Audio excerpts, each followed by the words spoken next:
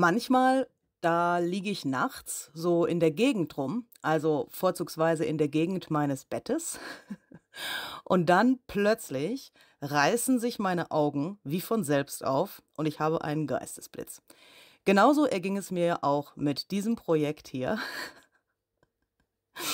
Das hier ist ein Projekt, das ich gemacht habe für das Fault 2 Release von Sizzix und Tim Holz. Und das hier stellt einen Mini-Bastelraum in einem Vignette-Tray, also in einem Tablett dar. Und ich habe hier aus den mir zur Verfügung stehenden Die-Cuts ein paar kleine Farbkästen gebaut. Und in diesem Video möchte ich dir gerne zeigen, wie ich das Ganze gemacht habe und auch, wie ich leere Flaschen und Dosen von den Ranger-Medien abgegruncht habe, um sie hiermit zu inkludieren. Wenn du also Lust hast, in ungefähr einer Stunde zu sehen, was ich in mehreren Tagen hier fabriziert habe, dann nehme ich dich gerne mit auf diese kleine Reise durch dieses Projekt und zeige dir Großteile meines Prozesses und verrate dir natürlich auch ein paar Tipps und Tricks, wie du dir so etwas selber machen kannst. So hat alles angefangen. Als ich das gesehen habe, siehst du schon an meiner Handbewegung, habe ich mir gedacht, was soll daraus werden? Aber fangen wir erstmal an mit irgendwas, was wir können. Wir nehmen uns also ein bisschen, äh, hier so ein Stückchen äh, Mixed Media Heavy Stock und Scorched Timber Distress Ink und machen uns erstmal so einen Hintergrund, weil ich wusste schon, dass diese Farbkästen irgendwie abgegruncht und braun sein sollen. Also habe ich damit erstmal angefangen, weil mir das schon sonnenklar war. Diese ganze Aufteilung für dieses Vignette-Tray, also für dieses Tablett, war mir eigentlich auch schon irgendwie so halbwegs klar. Aber für mich ist es immer am einfachsten, wenn ich mit mir bekannten Techniken anfangen kann. Techniken, die ich schon ganz oft gemacht habe. Und so habe ich mir jetzt hier ein komplettes Blatt erstmal mit Scorched Timber gestaltet und habe verschiedene Layer von der Distress Ink Scorched Timber und dem Spray, Spray Stain huiuiui, und später auch noch dem Oxide Spray übereinander gelayert. Sprich, ich habe mir das hier auf meine Media Surface Mat gegeben, habe ein bisschen Wasser dazu gesprüht und dann habe ich das da so reingedippt und immer wieder zwischendurch getrocknet. Dadurch gibt sich so ein richtig cooler Layer-Look auf dem Papier. Dieser Mixed Media Heavy Stock ist aber auch geeignet, um sehr viel Wasser und sehr flüssige Medien zu verwenden. Das heißt, der verhält sich relativ freundlich, sagen wir mal, auch wenn du das mehrfach nass machst, denn durch diese Tinte und also das Tintenspray wird es ja immer wieder nass und wenn du das dann wieder trocknest, bleibt er aber trotzdem relativ glatt, wie du hier siehst ist das alles nicht gewellt oder so. Und das ist natürlich sehr gut, wenn man später mit Die-Cuts da etwas ausschneiden will. Wenn das Blatt nicht so gewellt ist, dann hat man es ein bisschen leichter. Hier spritze ich jetzt zuletzt noch ein bisschen Oxide Spray, ebenfalls Scorched Timber drauf, sodass ich da noch so eine richtig coole Oxidation kriege. Und ich wollte auch diese hellen Stellen von dem Papier noch ein bisschen mit diesen Pünktchen bespritzen. Der Mixed Media Heavy Stock ist von Anfang an, wie du gerade gesehen hast, schon so ein bisschen so fast Vanillefarben, so irgendwie, so ein bisschen so, also nenne ich weiß halt. Und äh, das finde ich eine ganz coole Kombination mit Scorched Timber. Dann habe ich mir hier dieses Vignette Tray genommen. Das ist von Ideology, gibt es in verschiedenen Größen. Und das habe ich jetzt erstmal komplett von innen mit Scorched Timber Distress Paint bepinselt. Ich habe mir da zwischendurch ein bisschen Wasser drauf gesprüht, dann braucht man nicht ganz so viel Farbe und es deckt trotzdem sehr gut. Das hier ist jetzt Pumice, uh, ich kann heute irgendwie nicht sprechen, Entschuldigung, Pumice Stone Distress Paint. Damit habe ich den Rand eingepinselt. Ich bin da zweimal um diesen Rand drumherum gegangen, zwischendurch getrocknet, sodass das richtig gut abdeckt. Und hier kommt mal wieder meine Lieblingszauberpaste zum Einsatz, die Distress ähm, Grid Paste Crypt die zu Halloween rauskommt. Meine Lieblingspaste. Ich weiß nicht, was ich mache, wenn das Zeug mal leer ist. Ich hoffe, dass ich das dann noch irgendwo kriege. Mm, aber ich denke, den meisten Shops sollte das auch äh, nebst Halloween auch zur Verfügung stehen. Also auch wenn nicht Halloween ist. Dann habe ich mir hier den Distress ähm, Watercolor Cardstock genommen, also so ein Aquarellpapier und diesen kleinen Filmstreifen Die Cut, um dann mit den 72 Farben von den Ranger Watercolor Pencils hier auf dieses Papier zu kritzeln, um einen richtig coolen Farbverlauf hinzukriegen für zwei verschiedene Dinge. Was habe ich also gemacht? Ich habe den Die-Cut genommen und habe geguckt, wie groß sind die einzelnen Elemente, die mir das da später gibt. Also ja, das ist jetzt die komplette Breite von dem Die-Cut, sodass ich, wenn ich das ausstanze, zwei verschiedenerlei Dinge kriege. Zum einen eben das eigentliche Teil, diesen eigentlichen Filmstreifen, später eingefärbt in diesen Farben. Und diese Teile, die da in der Mitte sind, also wo die Fotos sozusagen in dem Filmstreifen sind, die kommen ja dann beim Schneiden auch mit raus und die sind dann ebenfalls so eingefärbt. Warum habe ich mir diesen Krampf gegeben und habe meine Stifte alle da in der richtigen Reihenfolge hingelegt? Weil die liegen jetzt, wie du die da siehst, in der Ranger Farbpalette sortiert. Ja, nicht irgendwie durcheinander, sondern sortiert. Und ich trage sie auch genau so in dieser Reihenfolge hier auf. Warum habe ich das gemacht? Weil ich später diese Teile, die rausfallen, verwenden möchte, um sie wie Fliesen in dieses Vignette-Tray reinzukleben, also für den Hintergrund. Und damit das nicht äh, alles so wild durcheinander komisch aussieht, habe ich gedacht, das macht Sinn, wenn man ähm, das in der richtigen Reihenfolge, also in Anführungsstrichen der richtigen Reihenfolge. Was ist die richtige Reihenfolge? Für mich ist die Ranger-Palette die in Anführungsstrichen richtige Reihenfolge, weil das hat ja einen Sinn, wie diese Palette angeordnet ist. Ja, so, verstehst du, wie ich das meine? Und ähm, damit dieser Hintergrund später nicht komplett wuselig aussieht, sondern auch so einen regenbogenmäßigen Farbverlauf bildet, deswegen habe ich das so gemacht. Nachdem ich das alles angekritzelt hatte, habe ich da mit meinem Finger und ein bisschen Wasser so rübergetupft. Ich habe das bewusst nicht mit einem Pinsel gemacht. In dem Moment habe ich gedacht, das ist eine gute Idee. Du wirst gleich sehen, dass das nicht so eine gute Idee war. Wenn du dir den Stress, den ich da gleich noch haben werde, sparen willst, dann machst du es gleich mit dem Pinsel. Ist besser. Pumice Stone Distress Paint äh, kommt hier nochmal zum Einsatz, denn das möchte ich jetzt in die Ecken von diesem Tablett ja, so fließen lassen sozusagen. Also ich habe das direkt aufgetragen aus dieser kleinen Tube, dann recht viel Wasser gespritzt, um das dann zum einen mit dem Pinsel so ein bisschen zu verteilen, dass so ein bisschen intensivere Stellen entstehen, aber insbesondere um das in diese Ritzen laufen zu lassen, weil ich wollte, dass dieses Tablett äh, so aussieht, als wenn das schon mit Farbe bespritzt worden wäre und als wenn das schon so ein bisschen ne, angekrustete Farbe oder sowas in der Art oder so ein bisschen Dreck vielleicht auch draufgekommen wäre. Ich habe das jetzt bewusst hier in dieser neutralen Farbe gehalten, weil, wie du später sehen wirst, ähm, die anderen Sachen, die da noch draufkommen, die sind halt sehr farbenfroh. Und hier wollte ich eigentlich eher also ja, zum einen eben ein bisschen so angetrocknete Farbe oder Dreck imitieren, aber auf der anderen Seite auch mh, hm, Helligkeit in diese Ecken bringen. Weil, wenn man alles innen in diesem Tablett mit einer recht dunklen Farbe anmalt, dann hat man manchmal dieses Gefühl von Tiefe nicht mehr, was dieses Tablett ja nun mal hat. So schaut das Ganze dann aus. Hm, ich finde, das schaut sehr, sehr cool irgendwie aus. Und diese Crypt Paste, die macht natürlich auch, also die tut halt viel so, ne? Guido Maria Kretschmer würde jetzt wahrscheinlich zu irgendeinem so Kleidungsstück sagen, das tut viel für dich. so ist das mit der Crypt Paste. Wie komme ich jetzt da drauf? Aber es ist so, es wird der wahrscheinlich sagen. Äh, mit der Crypt Paste ist das für solche Projekte, finde ich, auch so. Aber das ist natürlich Geschmackssache. Ihr könnt auch eine andere Grid Paste dafür natürlich nehmen oder eine normale Strukturpaste würde auch funktionieren. Aber die sind natürlich nicht so körnig. So, hier seht ihr die Originalgeschwindigkeit, in der ich jetzt diese kleinen ausgeschnittenen äh, Scheißerchen da aufklebe. Mir da vorher so ein Muster überlegt für diese fliesenartige Optik. Und hier klebe ich die jetzt fest. Hm, ich habe die Crypt Paste an den Stellen, wo das auf der großen Fläche von dem Tablett ist, recht dünn aufgetragen. Also wenn ihr das nachmachen wollt, dann tragt die äh, Paste nicht zu stark auf, also nicht zu dick auf, da wo ihr diese Fliesen aufkleben wollt. Ansonsten habt ihr Mühe, das festzukleben.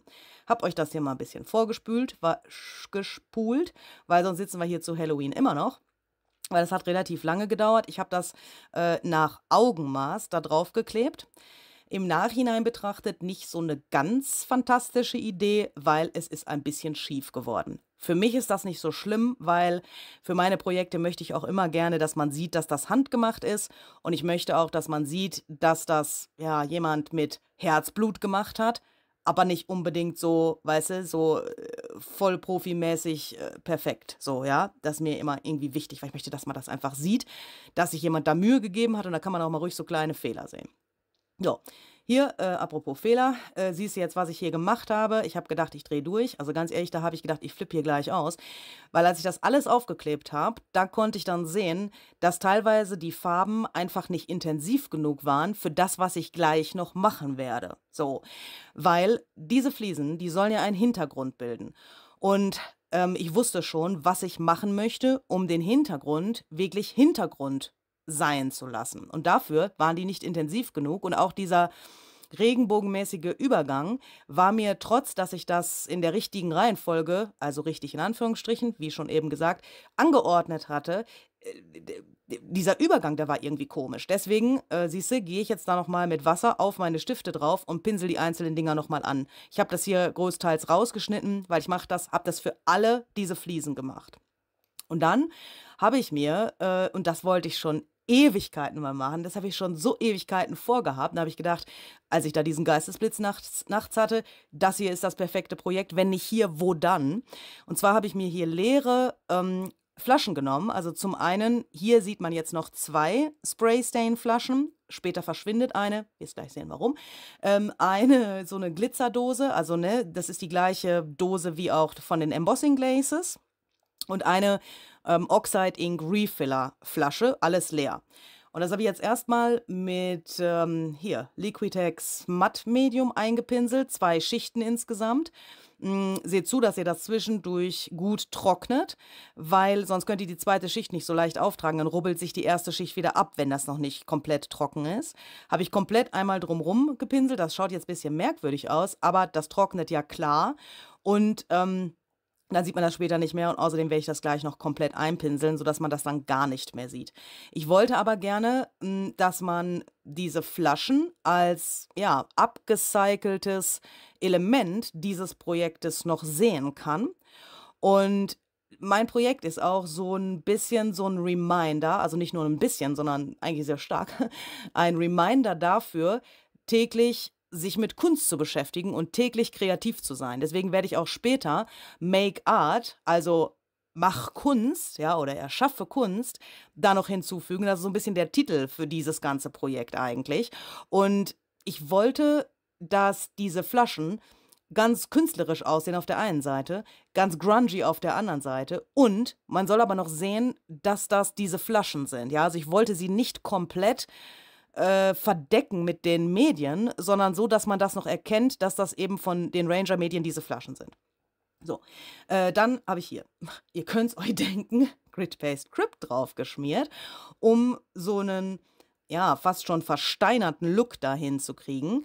Und äh, dass das so aussieht, als wenn die Flasche schon ganz alt wäre und da irgendwas schon von dem Medium rausgekommen und angetrocknet ist. Ich weiß, wenn man weiß, dass das eine Spraystain-Flasche ist, ist das leicht äh, unrealistisch, denn selbst wenn Spraystain aus der Flasche rauskommen würde, würde das niemals so fett trocknen. Ja, also wenn das da irgendwie fest trocknen würde, würde das so nicht aussehen. Aber man könnte sich vielleicht auch vorstellen, dass man das mit Acrylfarbe an den Händen angefasst hat, aus Versehen, und dann ist das daran festgetrocknet. Ja, so als wenn die schon ewig benutzt wäre, gewesen wäre und ähm, auch in vielleicht verschiedenen künstlerischen Zusammenhängen schon vorgekommen ist.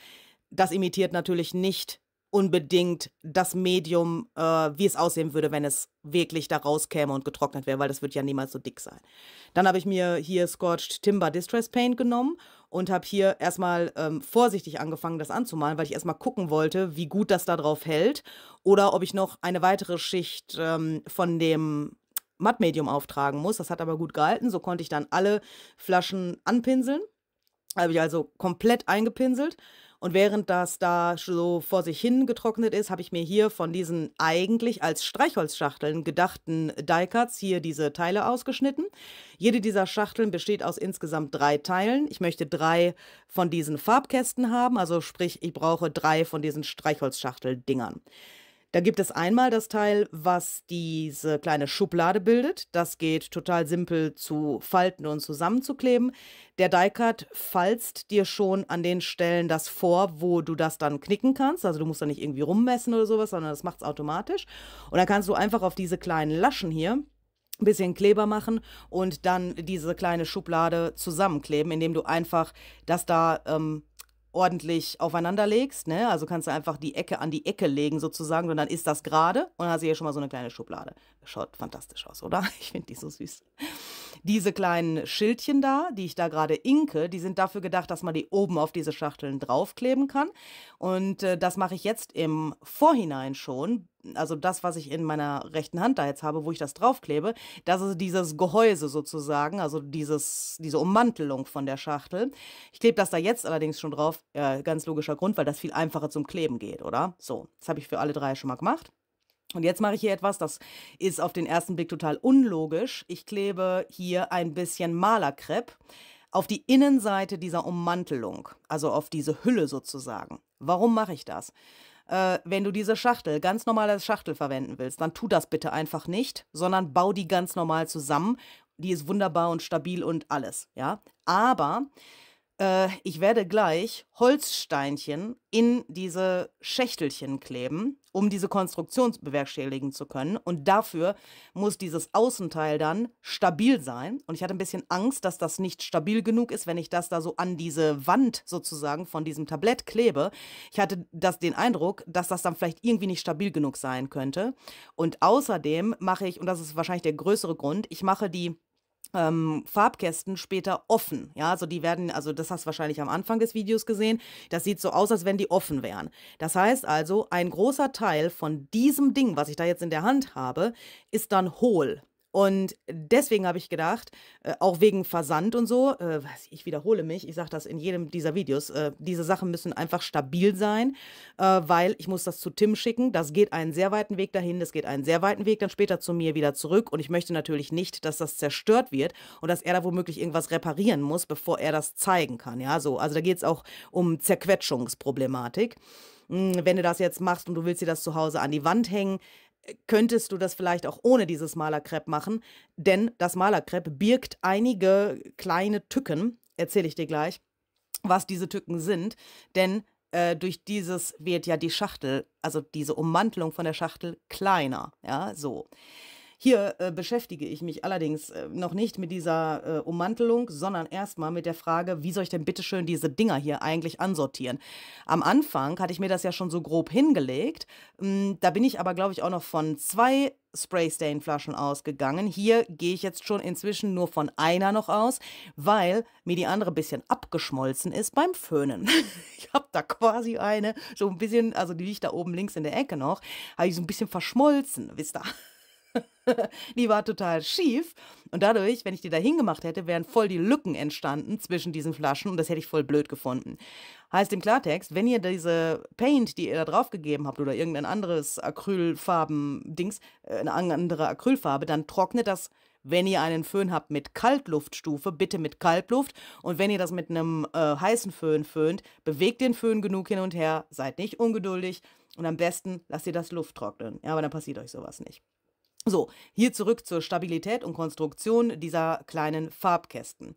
Zuerst habe ich gedacht, ähm, ich möchte, dass in diesen Farbkästen jeweils acht Farben drin sind. Und dann habe ich mir diese Scrabble-Steine genommen und habe gedacht, ich flippe aus. Also in diesem Moment hätte ich, ich, hätte ich Luftsprünge machen können.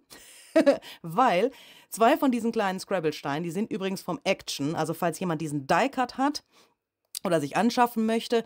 Äh, diese Scrabble-Steine vom Action, die passen da perfekt rein. Zwei nebeneinander, vollkommen super. So, also passen auch vier, wenn zwei passen. Und dann war da oben so eine Lücke. Da habe ich mir gedacht, okay, was tue ich denn jetzt? Wenn ich jetzt die nächsten vier einfach ähm, versetzt darüber mache, entsteht da unter, unten, Entschuldigung, unten drunter zwar so ein Hohlraum. Das ist aber nicht so schlimm, weil die Klebefläche ist groß genug. Ja, also habe ich mir gedacht, das könnte ich jetzt so machen, dass dann da diese Lücke abgedeckt ist. Und da habe ich gedacht, wenn ich dann aber äh, dieses Papier da nehme und mache das dann da oben drauf, dann ist halt da oben drauf das Papier sozusagen in der Luft, wo die Lücke da drunter ist. Habe ich gedacht, das ist ja nicht so schlimm, weil den Teil kann man ja dann in dieses Ummantelungsgehäuse da stecken. So, habe ich erstmal gedacht, okay, kleben das hier alles mal fest, das ist perfekt, das ist stabil, alles super. Das sind jetzt also insgesamt vier Steine also von diesen Holzsteinen, von diesen Scrabble-Steinen pro Lage und zwei Lagen insgesamt und dann versetzt geklebt, sodass das dann richtig stabil ist. Hm, das sorgt auch dafür, dass dieses, äh, Ding wirklich so ein richtiges Rechteck natürlich ist, weil ihr könnt das dann natürlich auch an das Holz drücken und wenn ihr an die Steine von der Seite auch Kleber macht, dann klebt sich das Papier auch noch mal da fest. Und gerade für so ein Miniaturgebilde finde ich das sehr cool, weil dann hat man das alles ein bisschen besser unter Kontrolle und das wird stabil und man muss auch nicht aufpassen, wenn man das in die Hand nimmt, dass man das irgendwie zerquetscht oder so, mm, weil, also ich bin ja immer so ein bisschen grobmotorisch, ne, weil bei so, so kleinen Schachteln oder irgendwie sowas habe ich immer so die Befürchtung, ne, drück nicht zu doll, weil sonst hast du hier gleich einen äh, Unfall oder sowas. So, äh, hier puzzle ich das so rein noch äh, so voll der Überzeugung, ist nicht schlimm, wenn die äh, Buchstaben oben sind, so, ja, weil äh, sieht man ja später nicht.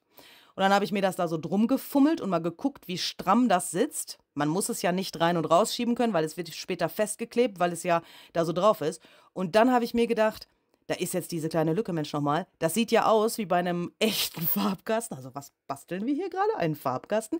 Und da sind ja auch immer diese Schlitze, wo die Pinsel drin liegen. Da habe ich mir gedacht, ich bin ja vollkommen blöd. Wenn ich jetzt dieses Papier darüber mache und mache acht Farben da rein, dann ist das abgedeckt und dann schauen alle drei von den Dingern gleich aus. Warum machen wir nicht also einen Miniaturpinsel? Ja, Luise also zwei von ihren kleinen Pinseln geopfert für dieses Projekt. Und jetzt habe ich die so zurechtgeschnitten und wieder aneinander geklebt, dass dieser Pinsel wirklich aus einer, also zwei Pinsel mache ich da insgesamt, dass die wirklich aus echten Pinseln bestehen auch, ja, so. Äh, weil das jetzt von null zu konstruieren, äh, ich hatte gar nicht das richtige Material, um das hinkriegen zu können. Ich habe also den Originalpinsel oben bei dem Metall abgeschnitten, also so wie ich gedacht habe, das könnte proportional gut aussehen, habe von dem Stiel ein Stück abgeschnitten, habe das hinten angespitzt, damit äh, das sich verjüngt nach hinten hin, so wie das bei einem großen Pinsel auch wäre. Und dann habe ich das mit Heißkleber zusammengeklebt. Ich weiß, äh, das ist eine sehr kleine Klebefläche. Dieser Heißkleber ist aber auch sehr, sehr stark. Das geht vielleicht nicht unbedingt mit normalem Heißkleber. Möglicherweise wäre Sekundenkleber in diesem Fall besser, weil der hält wahrscheinlich besser auf so, also ne, so kleine Flächen zusammen. Äh, hatte aber keinen, ja, so. Äh, zwei Pinsel habe ich insgesamt gemacht. Den Prozess des anderen habe ich hier rausgeschnitten. Habe ich genauso gemacht. Ja, ich wollte euch ja nicht langweilen. Nachdem ich alles dann innen weiß angepinselt hatte, habe ich hier ein bisschen Distress Paint Scorched Timber so reinlaufen lassen, weil ich wollte, dass das so aussieht, als wenn diese Farbkästen schon wirklich richtig benutzt aussehen. Ich liebe ja so benutzte Farbkästen. Ich weiß nicht, ob ihr das wisst. Tim hat in seinem Studio auch so benutzte Farbkästen an der Wand hängen. Ich finde es so absolut genial. Also falls jemand so einen richtig abgeranzten Farbkasten hat, ne, und mir eine Riesenfreude machen will, dürft ihr mir gerne schicken. Ich mache nur Spaß. Ich mache nur Spaß. Aber ich bin schon immer auf der Suche nach solchen Farbkästen, hm, habe aber bisher noch nicht so irgendwie das Richtige gefunden, weil das muss irgendwie so richtig abgeranzt sein, dass das so richtig gut aussieht. Aber dieses an die Wand hängen dieser kleinen Kästen ist auch so ein bisschen inspiriert durch das, was er in seinem Zimmer da hat. Jetzt habe ich diese ähm, Teile hier abgeschnitten, sodass, also das sind auch, es ist auch der Die-Cut, den ich ähm, vorher außen aufgeklebt habe, also dieses Schild eigentlich, was man außen auf die Schachtel kleben kann, das kann man natürlich auch benutzen, um es innen hinzukleben, denn das passt ja dahin. Also, ne, ist ja genauso groß, also das passt ja gut. So, äh, alles, äh, nein, zwei abgeschnitten und eins in der Originalgröße gelassen. Dann habe ich das Ganze hier mit Scotch Timber Oxide Ink geinkt, sodass diese Palette selbst auch benutzt aussieht und ein bisschen dreckig. Denn wenn man Wasserfarbe hat und man benutzt die oft, wisst ihr, dann kommt ja irgendwann mal so ein Braun, weil sich mehrere Farben miteinander mischen. Und wenn man das nicht sauber macht, dann ist das halt überall. Und genau das macht ja den, den Reiz von so einer benutzten Palette eigentlich aus. Auf die kleinen Dinger, sprich auf die zwei Teile, die in die Schachteln kommen, wo die Pinsel auch drin sind, habe ich jetzt sechs solcher kleinen Dinger hier geklebt und auf das vollständige 8. Also das seht ihr jetzt da in der Mitte liegen, wo die äh, Türkistöne da unten liegen. Dann habe ich mir hier ähm, ausgemalt, welche Farben ich hier benutzen möchte. Das hat ungefähr drei Stunden gedauert, bis ich mich da entscheiden konnte, weil ich wollte auch da so ein bisschen so einen Regenbogen und verschiedene Paletten haben. Ich habe das jetzt bewusst so gemacht, dass zum Beispiel jetzt diese erste hier mit Rot, Orange und ein bisschen Gelb ist. Dann die andere mit Türkis und Grün und ein bisschen Blau. Und die letzte mit äh, Blau und Braun. Sodass, also hier seht ihr das, damit das nicht so wild durcheinander ist. Ja, so, weil wenn das später da drauf klebt, dann schaut das vielleicht ein bisschen wild durcheinander aus und das wollte ich vermeiden, sodass da auch nochmal zwischen diesen drei Farbkästen dann wie so eine Art Regenbogen entsteht, den man auch wirklich als solchen erkennen kann. Ich weiß, so würde jetzt vielleicht, ja gut, aber doch, könnte vielleicht sein, wenn man so einen kleinen Farbkasten hat, könnte das doch schon realistisch sein, oder? Wenn man sechs so Farben hat, könnte schon so in Wirklichkeit auch aussehen. Oder ich weiß nicht, kenne mich mit so Aquarellkästen nicht so gut aus. Wie die verkauft werden, meine ich jetzt, mit was für einer Palette drin. Das habe ich auch noch mal äh, hier mit Wasser verblendet, sodass es natürlich auch ein bisschen benutzt schon aussieht in diesem Schritt. Und ich wollte, dass manches schon so ein bisschen leer aussehen. Deswegen habe ich ein paar so weiße Stellen gelassen, sodass dann mit Wasser drauf das nicht ganz so intensiv wird und das so aussieht, als würde da schon das Weiße von der Schachtel dann durchkommen. Und dann habe ich mir nochmal die einzelnen Farben hergenommen und äh, mit einem Wassertankpinsel das Pigment da runtergenommen, um dann ein paar so Kleckse zu machen, sodass es aussieht, als hätte jemand so volle Wild mit einem Pinsel in diesem Farbkasten umeinander getan. Und so sind dann natürlich Farben von einem kleinen Töpfchen da ins nächste gekommen. Also das habe ich wirklich Nerven gekostet, weil ich gedacht habe, wenn dir das jetzt gleich nicht gefällt, dann muss ich den ganzen Kram nochmal machen. also ich meine, das hat sehr viel Spaß gemacht. Es wäre jetzt nicht so wahnsinnig schlimm gewesen, ja. Aber das war schon so ein bisschen nervenaufreibend, weil wenn man nicht so einen echten Farbkasten vor sich liegen hat, ist das gar nicht mal so leicht. Ich hatte schon mal so einen Farbkasten ähm, für mein Tim Holz Studio Journal gemacht, also nicht auf diese Art, sondern aber mit Aquarellfarbe gemalt und auch, äh, ja doch, also nicht mit Die-Cuts, aber vom, vom, von der Konstruktion her ähnlich wie das hier. Und da war das auch ganz eigenartig. Ich musste mir da wirklich so Bilder dazu Hilfe nehmen, dass ich mich so ein bisschen orientieren konnte, wie das in Wirklichkeit aussieht. Das ist gar nicht so einfach, sich das vorzustellen auch die Tiefe von diesen Töpfchen hinzukriegen und noch ein bisschen mehr so Matsche irgendwie hinzukriegen. Das war gar nicht so einfach. Deswegen bin ich hier nochmal mit Braun drumherum gegangen, damit das einfach noch ein bisschen abgegrenzter aussieht, sodass man diese einzelnen Töpfchen leichter sehen kann. So, da war ich zufrieden einigermaßen. Äh, da habe ich schon ein paar Stunden rumgefummelt gehabt und alles getrocknet. Jetzt klebe ich das hier auf. Dieses Teilchen hier ist jetzt das, wo kein Pinsel reinkommt. Und das, was in der Luft hängt, ja, also der Teil vom Papier, der in der Luft, in der Luft hängt, kommt jetzt in diese Schachtel rein. So, und hier ähm, erschließt sich jetzt vermutlich schon das äh, Ding, warum man normalerweise kein Masking Tape, also keinen Malerkrepp verwenden sollte, um das innen in diese Umhüllung zu kleben nur wenn, also ich kann das nur, äh, das ist jetzt keine Regel oder sonst irgendwas, ja, aber ich kann nur empfehlen, wenn du es so festkleben willst, wie ich das jetzt hier tue, dann kannst du ruhig innen was reinkleben, weil dann kannst du das so hinwursteln, dass das funktioniert. Nimm aber einen Tape, was nicht zu dick ist, denn du musst diese Ummantelung da ja noch drum kriegen und das muss noch einigermaßen gut aussehen. Und diese Lasche, die du jetzt gleich vorne festklebst, die darf nicht zu kurz werden durch die Dicke dessen, was da innen ist. Ja, so. Und wenn du die Schachtel wirklich zum Rausziehen machen willst, dann kann ich dir auf gar keinen Fall empfehlen, dieses Tape da innen reinzukleben, weil dann wird es sehr, sehr schwierig sein, das raus und rein zu machen, ohne dass das da drin sich irgendwie verkantet oder verhakt. Ähm, wenn man das jetzt hier festklebt, ich habe das auch mir mit Klemmen zwischendurch festgemacht, da muss man ein bisschen aufpassen, dass das parallel wird, denn das, da wo jetzt meine Zeigefinger drauf sind, das ist jetzt zu kurz eigentlich. Das sieht man aber später nicht mehr, weil ich das so geklebt habe, dass dieses äh, die, das Ende unten ist und das wird man später nicht mehr sehen. Ja, so. Aber man muss das im Kopf haben, weil durch dieses Tape wird das natürlich kleiner, diese Öffnung. Ist ja logisch, oder? Weil es ja trägt ja auf.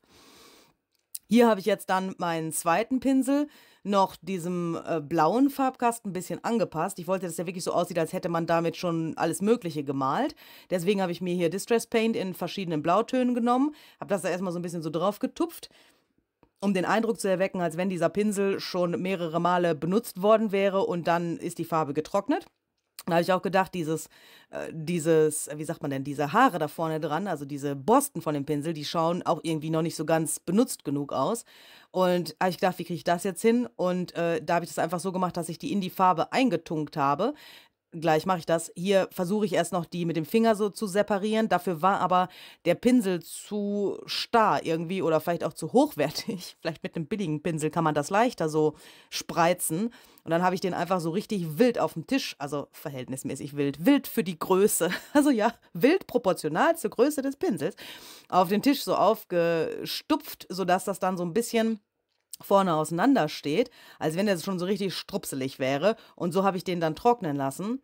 Und ich finde, so schaut das auch ein bisschen mehr aus wie ein Pinsel, weil ähm, vorher war mir das da vorher irgendwie so ein bisschen, vorher war mir das vorher, Entschuldigung, vorher war mir das da vorne so ein bisschen zu schmal. Also diese mh, hm, Haare da von dem Pinsel, äh, die sind gar nicht so richtig zum Vorschein irgendwie gekommen. Ja, so, äh, hier nehmen wir Entschuldigung. Also der, dieser Pinselteil, der war original einige Stunden lang, was ihr jetzt hier seht. Äh, wie gesagt, ich habe ja schon am Anfang gesagt, ich nehme euch hier in einer Stunde mit für, äh, für eine Sache, wo ich mehrere Tage tatsächlich gebraucht habe. Ähm, das ist so ein bisschen, ja, so ein bisschen lustig, weil wenn ich das sehe, ich weiß ja noch, wie, ich da, wie viel ich dafür Zeit gebraucht habe, oder? Aber ich finde, das hat sich gelohnt, weil das schaut total süß irgendwie aus. So, hier meine äh, nicht gestorbenen Flaschen. Die eine habe ich inzwischen schon aussortiert, die benutze ich mal für irgendwas anderes. Und jetzt habe ich mir diese Filmstreifen genommen und auch diesen, diesen größeren Filmrahmen da, auch aus diesem äh, Die-Cut-Set. Und dann habe ich überlegt, wie ich das jetzt machen kann, dass ich da vorne so Label drauf machen kann. Weil ich wollte, dass auf allen drei von diesen Dosen und äh, Flaschen so ein Label ist, was so aus diesem Filmrahmen sozusagen gemacht ist aber dass es trotzdem aussieht wie ein Label, sodass man dann denkt, oh, das ist aber hier irgendwie ein bisschen außergewöhnliche Verwendungsweise von diesem Filmding. Ist da so ein Foto reinmachen, das kann ja jeder. Aber so ein Label, da ist doch irgendwie mal ein bisschen was anderes, oder? Ja, Luise, sei nicht eingebildet. Vielleicht werden das andere Leute auch noch tun. Vielleicht, wenn ihr dieses Video seht, dann habt ihr schon gesehen, dass auch andere Leute das getan haben. Weiß ich zum jetzigen Zeitpunkt noch nicht, weil ich weiß ja nicht, was die anderen gemacht haben. Ja, ich kenne die Makes von den anderen Makern nicht. Zu diesem Zeitpunkt. Hier habe ich mich jetzt schon mal entschieden. Ihr seht für diese Glitzerdose, also rechts das Teil, dieses runde Döschen, da habe ich einfach zwei Elemente von dem Ding genommen und habe diesen Steg rausgeschnitten, sodass das Label ein bisschen breiter wird. Ich finde das proportional ganz gut für diese Dose. Und für die Refiller-Flasche nehme ich jetzt einfach nur eins von diesen kleinen Dingern, weil das ist vollkommen ausreichend. Also wenn man die nebeneinander stellt, dann sieht man ja auch nicht so viel von der Dose oder von der Flasche, als wie wenn man die einfach so in der Hand hat. Ja? Also stellt euch mal, wenn ihr das machen wollt, diese Flaschen nebeneinander und guckt, wie viel sieht man noch davon, weil dann stellt ihr fest, kleinere Sachen sind manchmal vielleicht sogar besser als größere Sachen, weil ne, das kann man da besser erkennen, was das ist. Diese Teile embosse ich jetzt mit goldenem Embossing-Pulver sodass die dann später irgendwie edel und abgeranzt gleichzeitig aussehen. Ich wollte, dass mh, diese Flaschen richtig braun, ne, dunkel und dreckig und so aussehen, aber gleichzeitig sowas Edles haben. Ja, weil ich weiß auch nicht, irgendwie, ja, ich bin halt so ein Ranger-Fan. Wisst ihr, ich konnte jetzt nicht nur Dreck machen, weil diese leeren Flaschen sind trotzdem noch so was wert. Ja, also ich habe voll die Kollektion voll die Sammlung von leeren Flaschen und Dosen und so weiter. Und ich schmeiß das auch nicht weg, ja, weil für irgendwas kann man das immer gebrauchen, zum Beispiel für sowas. Da muss natürlich jetzt noch irgendwas rein in diese Label und habe ich gedacht, wie kriege ich denn das jetzt bitte zustande? Jetzt habe ich mir also erstmal ähm, für den großen Rahmen das Teil genommen, was da sowieso rausfällt, wenn man das ausstanzt, weil das passt ja perfekt da rein. Genau das gleiche für den einzelnen kleinen Rahmen, da fällt ja auch so ein kleines Teil raus, kann man wieder reintun.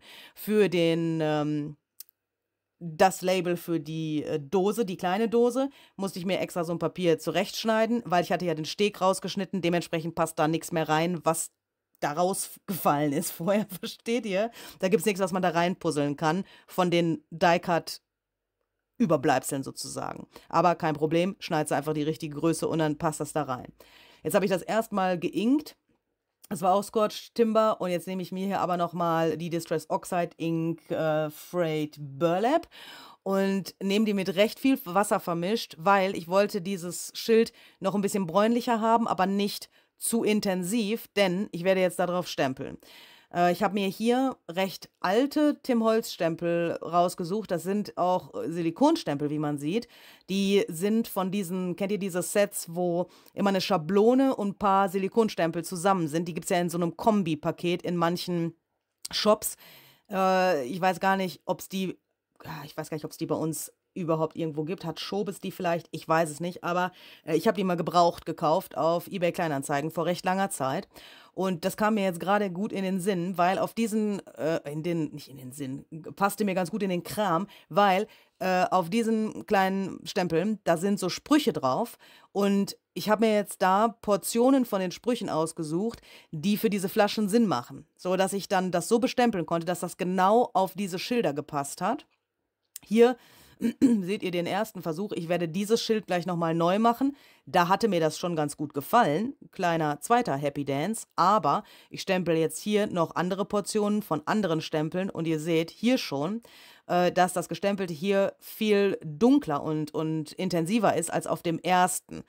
Äh, da ist mein Monk wieder durchgekommen und ich habe mir gedacht, das ist jetzt aber irgendwie nicht wahr, weil guck mal, wie das aussieht. Schaut ja ein bisschen shitty aus, oder? Also das linke, das viel zu hell und deswegen habe ich das nochmal gemacht, habe den Teil rausgeschnitten, ne, habe das ganze Label nochmal gemacht und den ganzen Ink-Prozess und so weiter, habe ich das nochmal gestempelt und dann war Luise glücklich. Deswegen haben wir das jetzt hier auch schon gleich aufgeklebt. Übrigens, alles, was ich hier klebe, klebe ich mit Buchbindeleim, beziehungsweise ähm, dem Liquitex äh, Mattmedium. Also wenn ihr die Flasche da stehen seht oder ich irgendwas aus der Flasche auftrage, ist es Buchbindeleim. Und ansonsten seht ihr mich das mit einem Pinsel auftragen, dann ist es das äh, Mattmedium von Liquitex. Alternativ dazu könnte man natürlich auch Collage-Medium nehmen. Auch für diesen Klebevorgang hier könnte man Collage-Medium nehmen. Das würde auch natürlich sehr gut halten. Ja, so. Äh, das wollte ich auch noch ein bisschen hier so abranzen und ein bisschen so aussehen lassen, als wäre das halt auch schon benutzt, dieses Label. Deswegen habe ich da mit meinem Fingernageltool so ein bisschen eingedrückt und dann diese weiße Kante ein bisschen geinkt, sodass das dann da auch ein bisschen dunkler noch aussieht, fast schon wie so ein kleiner Schatten. Und dann habe ich das äh, da reingeklebt. Ich bin einfach auf einer, habe einfach auf einer Seite angefangen und dann das so reingedrückt. Und das Gute ist, das passt ja genau da rein. Also kann man sich auch nicht vertun. Das kann auch nicht irgendwie schief werden. Ähm, hier war das schon ein bisschen schwieriger, aber trotzdem ganz gut funktioniert, weil das war ja das, wo ich mir das zurechtgeschnitten habe. Und bei dem von dem Refiller war das wieder ganz einfach, weil dieses Schildchen genau da reinpasst. Ist ja wie so ein Puzzle. So, stellen wir das hier rein und freuen uns erstmal, weil das schaut ja schon mal ziemlich fantastisch aus. Aber mir war das noch zu Ton in Ton und dieser Dreck da drauf, der war mir noch nicht sichtbar genug. Deswegen nehme ich hier eine Crayon. Wenn mich nicht alles täuscht, ist das Pumice Stone ja, das macht Sinn, dass das Pumice ist, weil vorher hatte ich ja die Paint Pumice auch schon verwendet. Ich kann es jetzt gerade da oben nicht lesen, aber wenn ich das so sehe, müsste das Pumice sein. Entschuldigung, mein Bildschirm hier von meinem, wenn ich dieses Voice-Over hier mache, der ist recht klein und da kann ich manchmal das nicht lesen. Also das, was ihr in groß seht, das sehe ich hier in recht klein und da kann ich das manchmal nicht lesen. Entschuldigung, aber ich glaube, das ist Pumice. Jetzt nehme ich mir hier so ein äh, Bürstchen und äh, verschmiere bzw. verblende die Crayon so ein bisschen. Ich wollte, dass das so ein kleines bisschen aussieht wie Staub. Das habe ich auf allen dieser drei äh, Dosen und Flaschen gemacht. Und dann habe ich mir mh, hm, die Paint in Tarnish Brass genommen, in diesem Goldton und habe da auch noch mal so ein bisschen sowas drauf gemacht, dass das auch noch mal so aussieht, als wenn da irgendwas rangespritzt und rausgekommen wäre. Also das könnte man sich fast ein bisschen so vorstellen, als wenn alle Medien in diesen drei Dosen und Flaschen golden wären. Ja, so und das ist da so ein bisschen ausgedrungen. Man kann sich auch denken, das ist was Edles und deswegen ist da so ein Gold dran. Interpretiert das bitte, wie ihr möchtet. Ich wollte das auch so ein bisschen äh, wisst ihr, ich habe ja vorher schon gesagt, ich möchte, dass das abgecycelt aussieht. Ich möchte, dass das grungy aussieht. Ich möchte, dass das Dreck hat.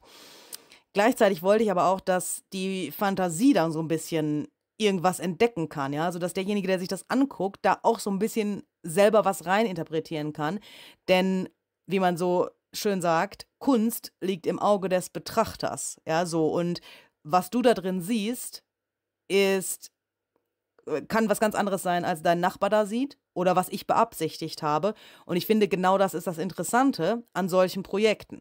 Und das ist ja auch so ein bisschen gedacht, als, also wenn ich jetzt dieses Projekt mache und ich hänge mir das in mein eigenes Bastelzimmer und ich hänge mir das irgendwo hin, wo ich das jeden Tag sehen kann, dann erinnert mich das daran, dass ich jeden Tag kreativ sein kann, wenn ich das möchte und dass ich jeden Tag ein Stückchen Kunst machen kann wenn ich das möchte, egal wie groß oder wie klein das ist, egal ob ich das jemandem zeige oder nicht. Aber das ist wie so eine Erinnerung daran, wie so ein Reminder.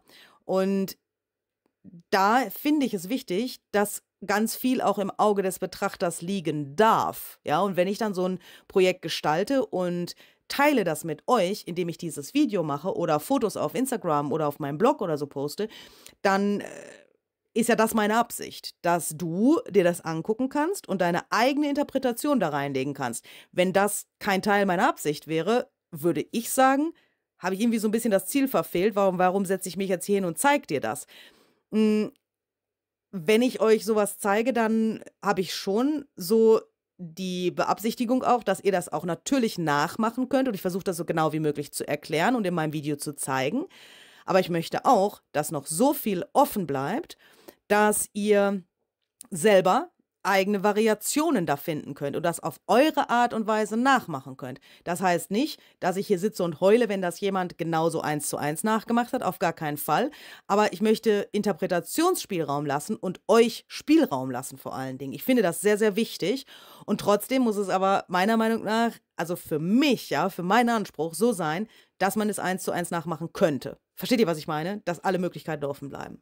So, äh, das gesagt, bauen wir uns hier einen Bilderrahmen, der stabil sein muss, in meinem Fall, weil der später frei stehen wird. Ich nehme mir also drei Lagen Aquarellpapier von diesem ausgestanzten Bilderrahmen, also der kommt auch aus dem neuen Release und ähm, klebe erstmal diese drei weißen Lagen aufeinander, um Stabilität hinzubekommen. Dann habe ich mir dieses Ideology-Foto da genommen und habe das auch schon ausgestanzt, wie du siehst. Mm, und zwar so, und das passt hervorragend auf die Fotos. Also dieser kleine Rahmen, der passt hervorragend da drauf. Da könnt ihr jetzt dann das Foto ausstanzen und habt gleichzeitig einen Rahmen, den ihr dann wieder um das Foto drumherum setzen könnt. Wenn man das jetzt einfach so machen würde, würde das ja ein bisschen dämlich aussehen. Das wäre ein bisschen langweilig. Denkt man so, was ist das denn? Wieso ist da jetzt hier der Rahmen in der Farbe und Dings hier von dem Foto, von dem das Muster von dem Foto, also das, das Motiv von dem Foto, meine ich? Das wäre ein bisschen komisch. Deswegen mache ich hier zwei kleine Tricks drei. Erstens, jetzt kleben wir erstmal dieses Teil, was von dem Foto sozusagen ursprünglich stammt, ja, also ihr seht das hoffentlich, was das ist, oder? Das kleben wir da jetzt erstmal oben drauf. Trick Nummer eins, wir schmirgeln das ein bisschen ab. Ich nehme hier die Ranger Sanding Disc, weil das eine, ein sehr feines Schmirgelpapier ist, mit dem das gut funktioniert auf diesen Ideology-Fotos. Ihr könnt auch ein anderes Schmirgelpapier nehmen. Achtet aber bitte darauf, dass das fein ist, sonst rubbelt ihr euch die ganze Oberfläche ab. Also das, das Motiv rubbelt ihr dann ab. Dann habe ich mir Embossing-Tinte genommen und habe das dann mit Scorched Timber Distress Glaze embossed. Vorher habe ich noch ein bisschen da an den Rändern mit meinem Finger das so wieder abgemacht, weil ich wollte, dass die Ränder recht hell und abgenutzt aussehen. Schon deshalb, äh, schon allein deshalb, weil ich es vorher geschmiergelt habe. Ansonsten hätte das keinen Sinn ergeben, das so zu machen. Ja, weil sonst hätte ich es nicht schmiergeln brauchen, weil sonst deckt die Embossing Glaze mir einfach zu viel ab. Jetzt nehme ich mir das Foto mache da ein bisschen klares Gesso drauf, sodass ich dann gleich mit einem Watercolor Pencil darauf malen kann. So schaut das jetzt jedenfalls erstmal aus. Und äh, übrigens, ach so, das ist vielleicht auch noch interessant für euch zu wissen. Ich habe den Rahmen quasi umgedreht. Ja, also ich habe den Die-Cut von diesem Rahmen auf das Foto gelegt, ausgestanzt, dann habe ich ja den Rahmen und das Foto. Und dann habe ich aber den Rahmen umgedreht, sodass der obere Teil des Fotos unten ist und der untere Teil des Fotos oben. So wurde es dann unten dunkel und oben hell. Ich weiß nicht, ob man das im Video hier so gut sieht, aber mit bloßem Auge sieht man das, weil die Frau hat ja sowas Helles an und wenn ich das jetzt mit dem Rahmen so mache, dann ist das Helle an dem Rahmen später oben und der dunkle Hintergrund hinter der Frau ist bei dem Rahmen später unten. Also da links seht ihr das jetzt, oder? Das ist jetzt unten dunkel und oben hell sodass das dann gar nicht mal so aussieht, als hätte man das von dem Foto ausgestanzt. Das schnallt man erstmal gar nicht, dass das von dem Foto ist, wenn man das nicht weiß. Und das ist auch so eine gewisse Art von Upcycling, weil, ne, diese zwei Teile, warum soll ich die nicht gleichzeitig verwenden? Wenn mit der eine Die-Cut mir beide von diesen Teilen gibt, dann kann ich die auch irgendwie gleichzeitig benutzen. Oder in Kombination oder natürlich auch für verschiedene Sachen, ist ja klar. So, hier mit Watercolor Pencil bisschen ruff gemalt, weil ich wollte mal, also ne, habe ich gedacht, man kann ja so eine Paperdoll auch mal ein bisschen anders anmalen, als man das normalerweise so sieht. Das hier habe ich jetzt noch nie gesehen. Ich habe das so ein bisschen als mein neues nebst Junk Journaling existierendes Hobby äh, rausgefunden. Ich habe jetzt schon einige Paperdolls in dieser Art und Weise angemalt. Bisschen so, ja, als wenn die so Kleckse irgendwo hätten. Und mir gefällt das total gut. Und ich habe das auch noch nirgendwo vorher gesehen. Also, ja, ich möchte das so ein bisschen so zu meinem eigenen Stil hinzufügen, sozusagen. Mal gucken, ob mir das gelingen wird oder ob ich irgendwann durchdrehe, weil es ist nämlich gar nicht so einfach, ehrlich gesagt, dass man das so hinkriegt, dass das dann wirklich wie so ein Klecks aussieht. Aber mit ein bisschen Übung geht alles. So, jetzt äh, müssen wir irgendwie das Foto in diesen Rahmen kriegen. Das Problem ist aber, dass der Rahmen äh, ja genauso groß ist wie das Foto. Deswegen klebe ich mir erstmal da hinten so ein Stück Aquarellpapier drauf, dass ich da wie so eine Rückwand von dem Rahmen habe und dann kann ich das Foto da reinkleben, weil ansonsten wird das Foto da drin nicht halten. Wie soll das gehen? Ja, irgendwo muss ich es ja draufkleben. Und äh, dann habe ich das da so reingedrückt. Ich habe das dann auch noch ein bisschen äh, mit einer Pinzette in den Ecken runtergedrückt, sodass das dann richtig gut da drin sitzt. Entschuldigt bitte, dass ihr das hier nur halb seht. Äh, ich habe nicht gemerkt, dass meine Kamera so nah rangezoomt hat, weil ich vorher ja da das Anmalen von der Paperdoll gefilmt hatte und das war vorher zu weit weg. Da habe ich rangezoomt und hier merke ich nicht, dass das eigentlich hier halb abgeschnitten ist. Ich hoffe, ihr könnt hier trotzdem folgen. Dann habe ich mir dieses Fotorad genommen und habe das erstmal mit Wasser besprüht und dann äh, mit den Spraystain, mit dem Spraystain und dem Oxide Spray Scorched Timber darauf gesprüht. Eigentlich ein bisschen so Hälfte, Hälfte. Und dann äh, geföhnt mit Wasser besprüht, in den Rest von, der, von dem Spray da eingetunkt, sodass das ein bisschen Variation kriegt, aber nicht zu wild wird. Aber ich wollte, dass man den Oxide-Effekt da trotzdem drauf sieht, aber nicht überall. Ja, so. Ein ganz guter Trick ist, zu föhnen und Wasser oder mehr Tinte zu spritzen oder einzudebben gleichzeitig. Den Trick habe ich von Tim gelernt. Wenn der irgendwas trocknet, dann spritzt der gleichzeitig Wasser und trocknet weiter. Also der hat den Föhn die ganze Zeit an und spritzt dann da drauf.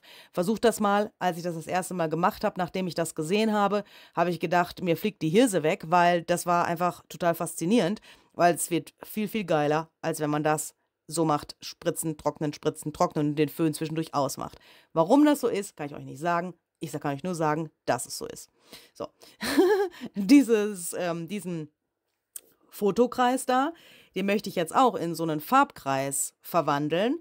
Und äh, dafür habe ich jetzt auch wieder mit den Watercolor Pencils mir hier ein äh, paar Farben, die halt so ne, nebeneinander so eine Palette bilden, dahin gekritzelt, sodass das dann direkt unter diesen Löchern da ist. Und dann habe ich das ein bisschen größer gemacht, um sicher zu sein, dass das wirklich alles gut abdeckt. Und ich habe die Farben auch so ein kleines bisschen ineinander verlaufen lassen. Wie ihr jetzt hier zum Beispiel bei dem Gelb und dem Rot seht, habe ich das, äh, ja, das habe ich extra gemacht, damit es auch so ein bisschen den Farbkästen da angepasst ist und ja, einfach so ein bisschen benutzt auch aussieht. So. Zur Verstärkung habe ich dann nochmal einen von diesen Kreisen einfach in weiß dahinter geklebt, ähm, weil ich war mir da schon ziemlich sicher, dass ich das mit ein bisschen Abstand zu der Wand aufkleben will und dafür muss das stabil sein. Jetzt habe ich gedacht, was ist hier mit meinem Hintergrund los? Da hatten wir ganz am Anfang schon drüber gesprochen. Ich wollte, dass der wirklich hintergrundig aussieht.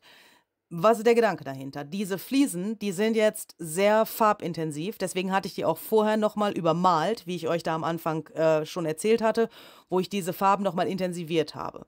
Zwischendurch habe ich mir immer diese Farbpalette da drauf gelegt und geguckt, wie ist der Kontrast? Also kommt die Farbpalette wirklich hervor in diesem Fall noch nicht, kann sie auch nicht, weil ich habe ja noch gar nicht hier angefangen mit dem, was ich eigentlich machen wollte.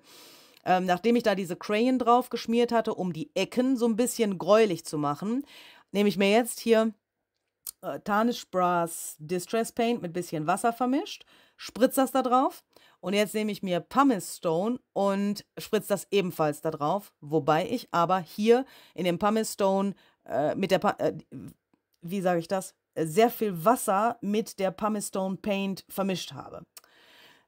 Entschuldigung. Ähm, weil ich wollte, dass das so ein bisschen durchscheinend wird.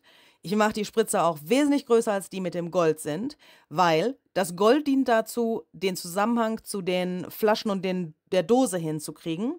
Und dieses Grau dient dazu, die Fliesen zu einem Hintergrund werden zu lassen.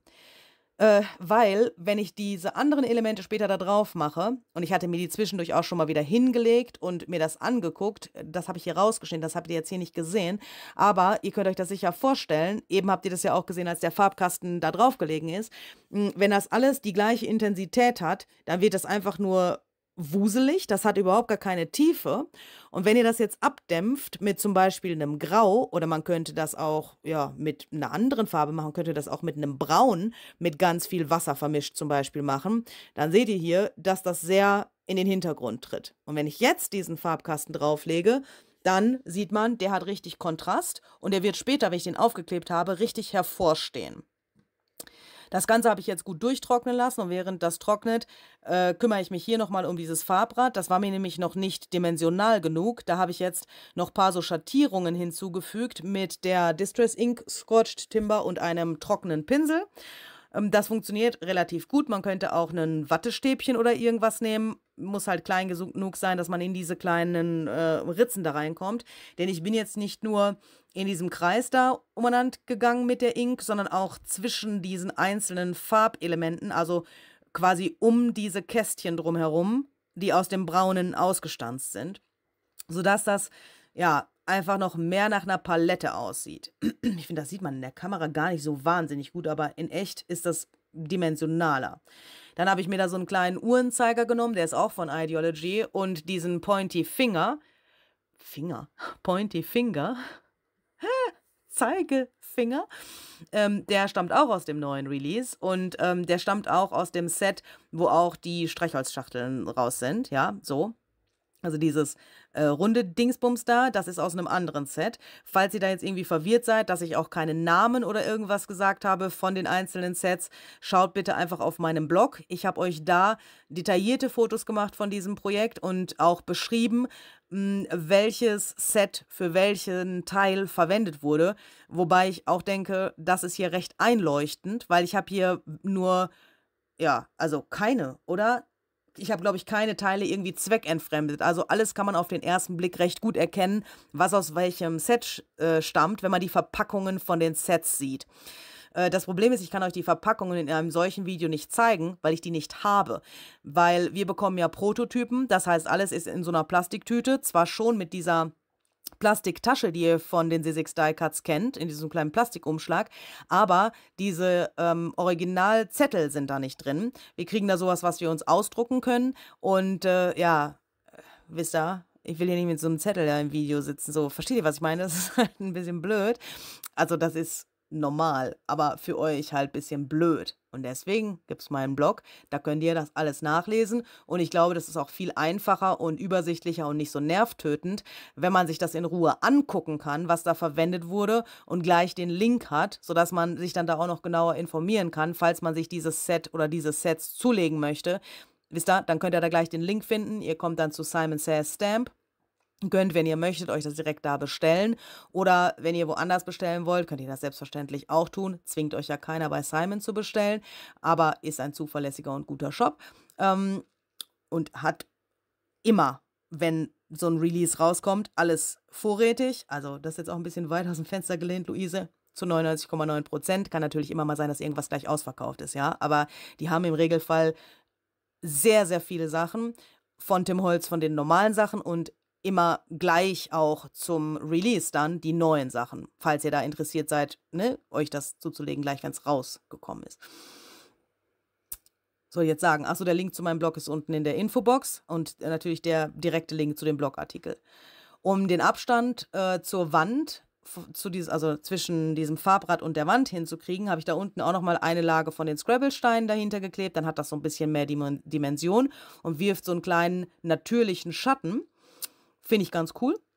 Das Foto habe ich da aufgestellt. Das ist nur links an der Seite festgeklebt und unten hat das diesen kleinen Ständer bekommen.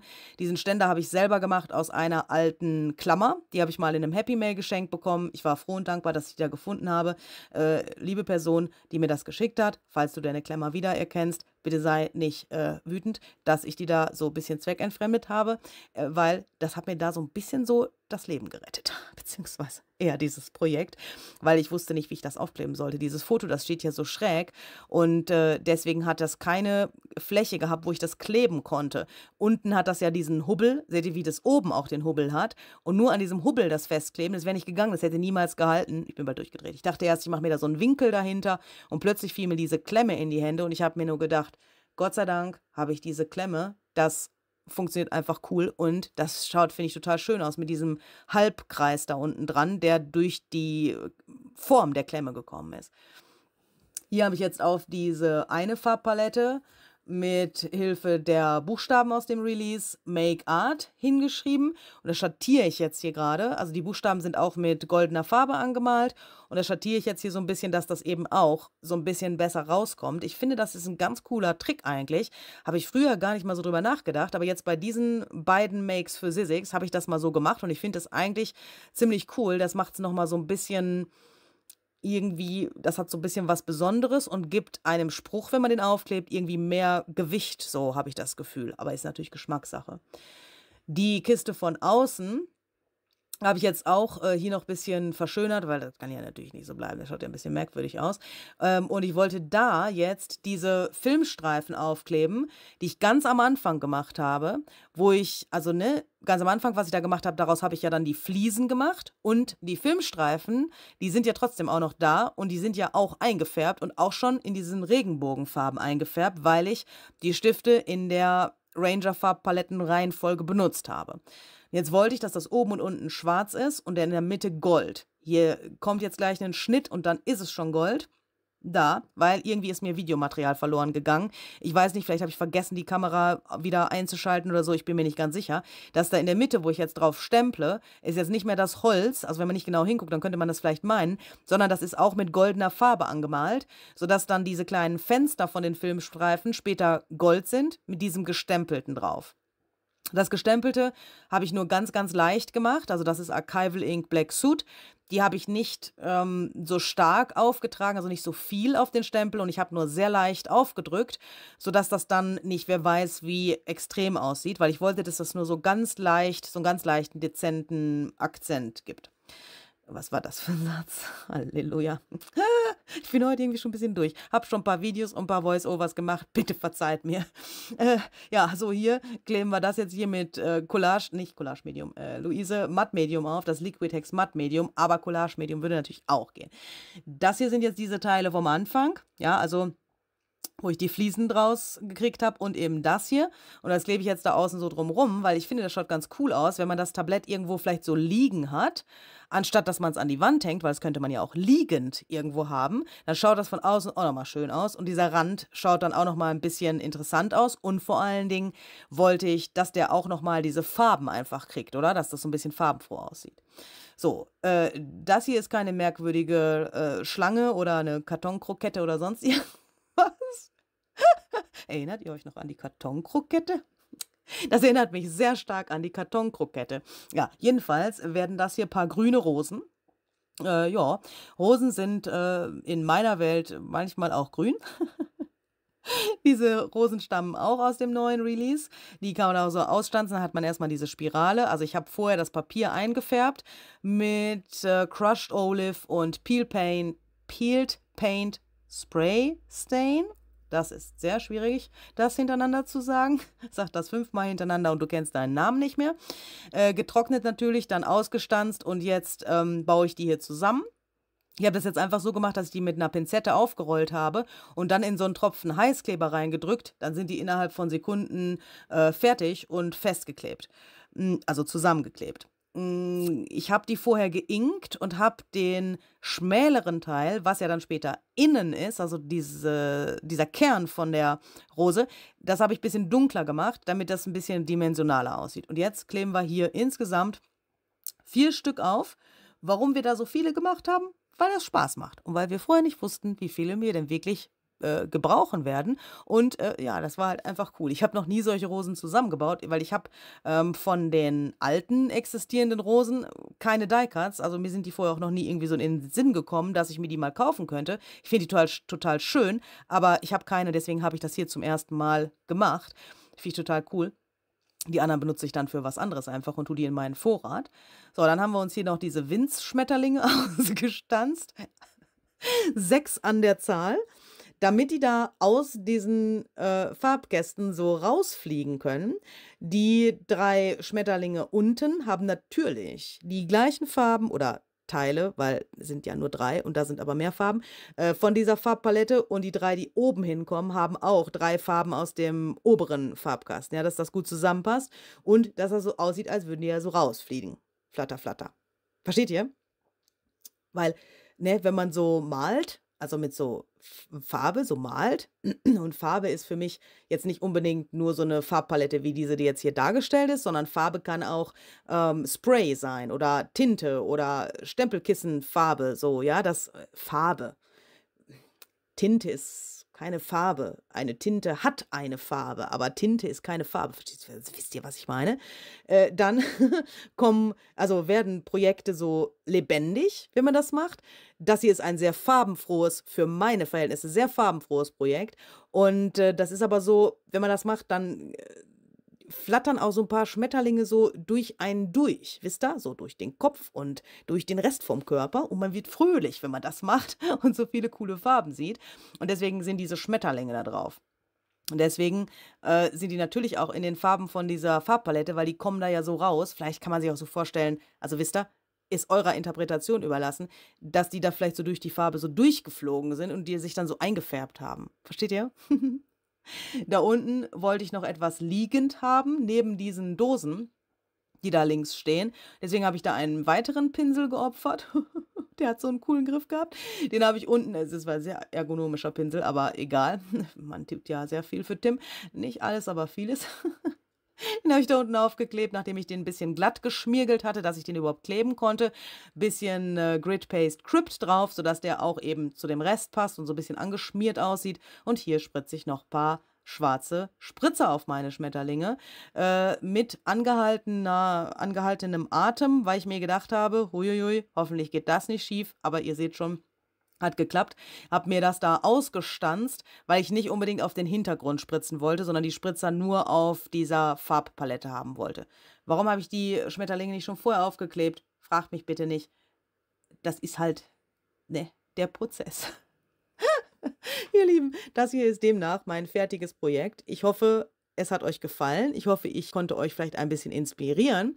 Vielleicht habt ihr Lust bekommen, euch auch sowas zu machen. Würde mich sehr freuen, wenn ihr mir da ein kleines Feedback geben äh, würdet, ob ihr sowas auch mal ausprobieren wollt. Oder vielleicht habt ihr sowas ja auch schon mal gemacht, kann ja auch sein. Mm, und ich hoffe natürlich sehr, wir sehen uns beim nächsten Mal wieder. Bis dahin wünsche ich euch ganz viel kreative Energie. Habt einen lustigen und fröhlichen Tag. Bis zum nächsten Mal. Tschüssikowski.